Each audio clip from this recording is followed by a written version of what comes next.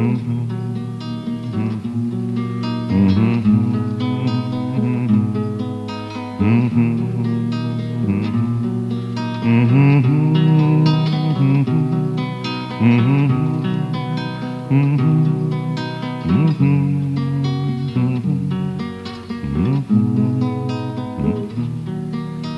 mam teraz czasu dla ciebie, nie widziała cię długo matka.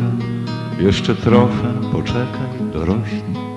Opowiemy ci o tych wypadkach, o tych dniach pełnych nadziei, pełnych rozmów i sporów gorących, o tych nocach kiepsko przespanych, naszych sercach mocno bijących, o tych ludziach, którzy poczuli, że są teraz wreszcie u siebie, solidarnie walczą o dzisiaj i o jutro także dla Ciebie.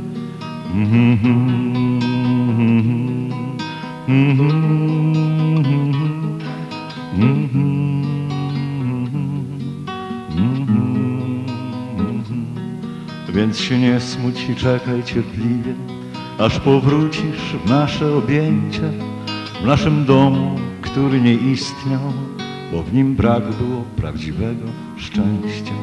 Mhm.